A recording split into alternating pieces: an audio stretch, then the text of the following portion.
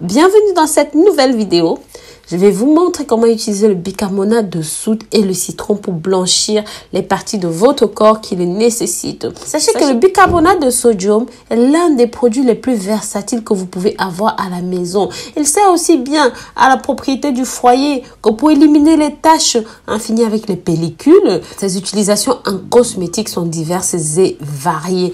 Mais l'une des plus intéressantes est sa capacité à éclaircir les zones de la peau qui ont tendance à devenir plus foncées. Comme, cas des aisselles, des doigts, des genoux, de l'entrejambe. Oui, si vous voulez pour toujours en finir avec des taches noires sur ces zones-là, je vais rester connecté. Je vous montrerai comment utiliser le bicarbonate de soude pour blanchir efficacement ces endroits. Mais avant de rentrer dans le vif du sujet, si jamais vous êtes nouveau, vous êtes nouvelle et que vous n'êtes pas encore abonné sur ma chaîne YouTube, n'hésitez pas, abonnez-vous, likez, commentez, mais surtout suivez-moi sur les réseaux sociaux. Les sont des zones de notre corps où il y a beaucoup plus de peau sensible. Et c'est pareil pour les mains. Lorsque, par exemple, vous utilisez des produits éclaircissants, hein, le problème c'est que au niveau des articulations, il y aura des différenciations de couleurs. Vous devriez prêter une attention plus importante. C'est dans ce contexte-là que deux options s'offrent à vous pour éliminer cela. Donc, soit vous faites des traitements très allégés quotidien où vous faites ce que je vais vous montrer tout de suite, un traitement en force comme ça, une fois par semaine. Et lorsque, par exemple, si on se concentre sur le pibi qui est généralement plus noir et les aisselles aussi, lorsque vous vous épilez, vous allez voir que l'utilisation, par exemple, d'un rasoir va produire des ombres disgracieuses gênantes qui n'apparaissent même pas lorsque nous sommes parfaitement épilés. À cause de cette situation, nous, les femmes, nous nous sentons gênées. On a du mal à exposer ces zones parce que cela nous semble euh, pas propre, cela nous semble euh, cela nous semble gênant, cela nous met mal à l'aise.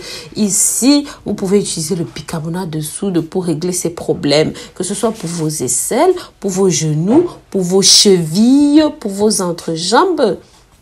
Voici comment améliorer définitivement la couleur. Donc, vous aurez besoin simplement de trois ingrédients.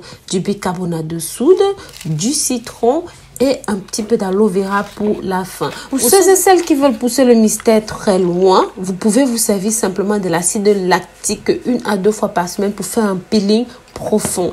Mais ce n'est pas nécessaire à ce stade si vous allez voir les résultats très efficaces en quelques minutes. Donc, ce que vous allez faire, vous prenez deux cuillères à café de bicarbonate de soude. Vous prenez du citron que vous allez écraser et vous prenez simplement une cuillère à café d'extrait de jus de citron. Vous mélangez le tout, les deux ingrédients pour former une pâte lisse comme épaisse. Nettoyez bien la peau avant l'application, que ce soit les aisselles ou même les genoux, les chevilles, les mollets, les bras, partout. Avec du savon, vous enlevez tout ça, les traces de déodorant, les traces de savon, les traces de parfum. Il faut que la peau reste libre, la peau reste neutre. Vous appliquez, vous frottez comme vous voyez là, vous frottez bien. Vous prenez vraiment le temps de frotter entre 5 et 10 minutes et vous laissez poser. Comme une fois que vous avez fini, l'endroit sera manifestement rouge. Hein, malheureusement, euh, ça irrite la peau. Dès que vous avez terminé, vous prenez votre solution d'aloe vera que vous avez préparée de cette façon et vous appliquez dessus pour adoucir, pour atténuer et pour soigner la peau.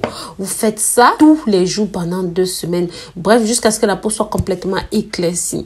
Bien sûr, il est recommandé d'exfolier les zones comme les aisselles deux fois par semaine afin d'éliminer les cellules mortes qui s'accumulent sur les zones, d'améliorer la couleur de l'apparence. Il est aussi important de réaliser cette préparation de préférence avec un gommage du visage fait maison. Car comme vous pouvez le voir, lorsque vous finissez de tamiser le citron, ne jetez pas la pulpe. Avec ça, vous pouvez vous faire votre gommage avec le blanc d'œuf et bien sûr du concombre. Ça va tout simplement être exceptionnel. Ça gommera votre peau irritée, ça soignera vos problèmes d'acné et ça va balancer le pH de votre peau.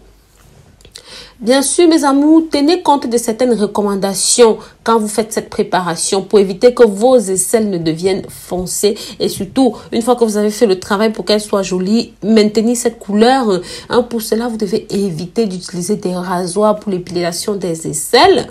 Pour ceux qui s'épilent les aisselles, cette habitude a tendance à mettre des points noirs un petit peu partout sur les aisselles. Vous savez de quoi je parle. Le mieux, c'est soit de la cire chaude, hein, ça marche hyper bien, ou alors ou alors de la pierre d'Alain après le rasage pour tout simplement limiter, voire éviter la repousse des poils. Je me permets ici de ne pas vous recommander les crèmes dépilatoires car ça, car ça aussi permet d'assombrir la zone parce que c'est chimique et ça attaque directement la peau. Mes amours, lavez vos aisselles au quotidien avec un produit hydratant. Hein. Prenez soin de cette zone-là. Je vous conseille par exemple la gamme Roger Cavaillès, mais à vous de voir. Vous pouvez aussi exfolier vos aisselles une fois par semaine avec un gommage pour le visage, le gommage qu'on a parlé plus haut. Évitez l'utilisation continue des déodorants ou même anti-transpirants.